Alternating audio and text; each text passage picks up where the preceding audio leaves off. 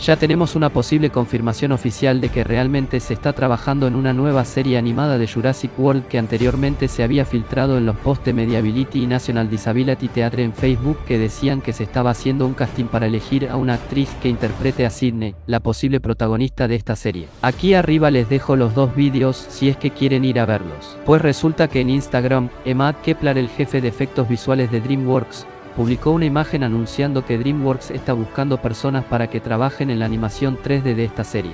Como prueba que esto es verdad, Emad Kepler antes había publicado una parte del desarrollo de la animación de Jurassic World Campamento Cretácico.